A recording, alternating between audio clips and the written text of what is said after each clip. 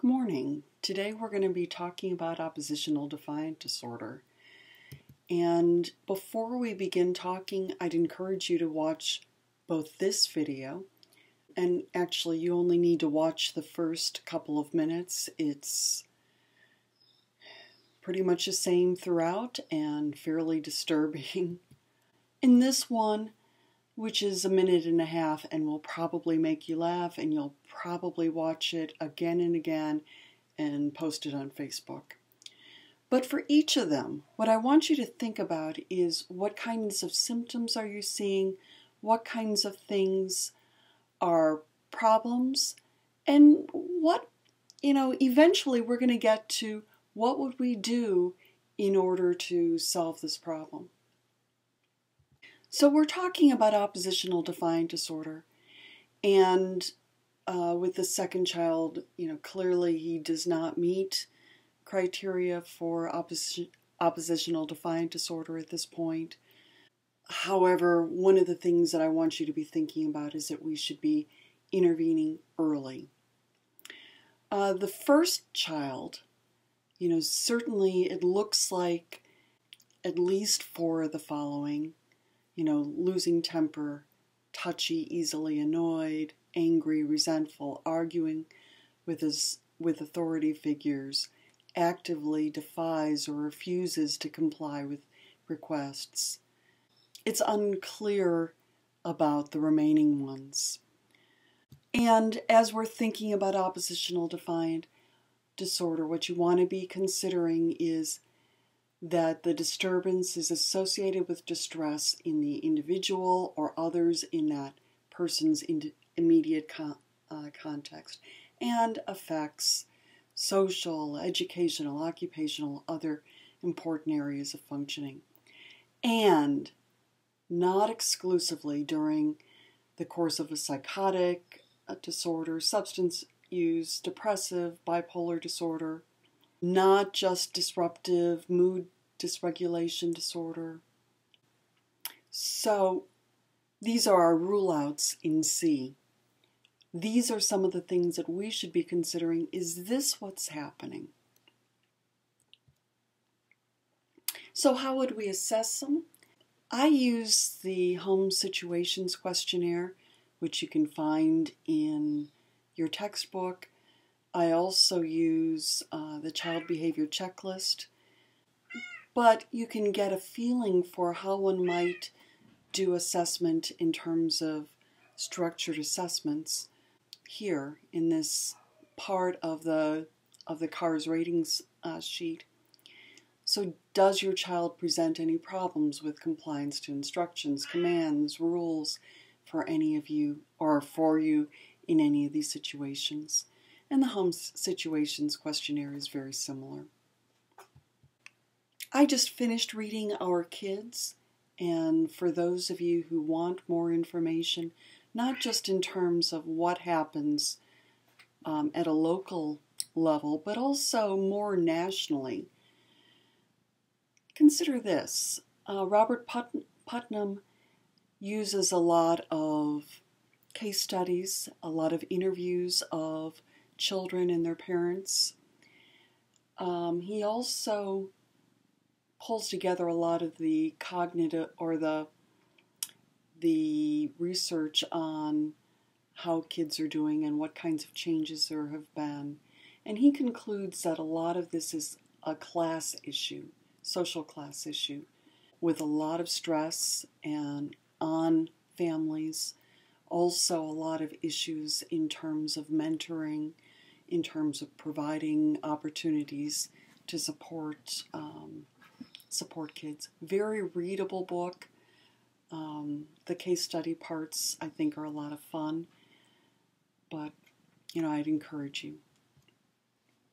So in terms of risk factors, things like family conflict and poor parenting, and problems with peers, and some information processing differences. So kids who are running into problems in school are more likely to run into to problems here. Also some also child abuse. Not surprising, we've seen that throughout the semester and we will continue to see it.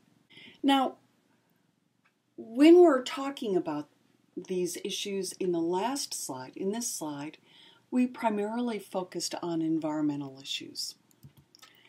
And Guy et al.'s research, and I believe I've shown you this before, you know, looks at the role of biological issues and clearly uh, birth parents' psychiatric issues, psychiatric problems affect their their children's antisocial behaviors. But in addition, we want to be paying attention to this part here that this is the part that we can control. That adoptive parents' um, strategies for disciplining affect their children's antisocial behaviors. So we can't control this part, you know, this nature part. We can control this. So, how do we? We can do so in a variety of different ways. I think working with parents, working with their families can be really important or strategies. So, talking to parents about how to respond to behavior problems, how to clearly communicate rules and expectations, how to provide positive rather than negative attention so the first video with Jaden looked like he was getting a lot of negative attention. And sometimes kids who are acting out get attention for bad things rather than for good things. And we'd rather have, you know, attention is attention. Um, sometimes parents need to pick their battles and ignore minor inappropriate behaviors. They need to use appropriate discipline and be consistent. So, one of the problems that many parents run into is that, you know, when they're tired, they, you know, say no, no, no, or maybe they refuse to do anything at that point, and at other times they let things slide. We need to, to learn or to help parents learn effective ways of asking children to do things clear, short, and it should be clear what the consequences are. Token economies, probably many of you experienced or used token economies when you were children, maybe when you were um, or in school, you got stickers when you did various sorts of things, good things, and token economies can be pretty effective. Parents need to learn how to solve problems effectively and prevent problems rather than letting them escalate. And they also need to find ways to work with the school. Um, sometimes, when I'm talking to, to parents, sometimes their kids uh, run into problems with the school and not at home sometimes at home and not at school. And, you know, sometimes the reason that they're not having problems at home is that the parents are allowing anything to happen. But sometimes it's that teachers or that particular teacher and child mix, you know, isn't a good one and they don't know how to respond more effectively. So, there are different kinds of outcomes of disruptive behavior disorders, so ADHD, oppositional defiant disorder, and conduct disorder. Problems are, you know, there are three paths. One um, is largely associated with symptoms of ADHD and also problems with family dysfunction, you know, related to negative outcomes.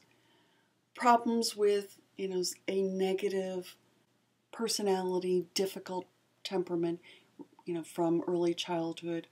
Also, uh, problems that extend well beyond, you know, adolescence. And the third one is more normal.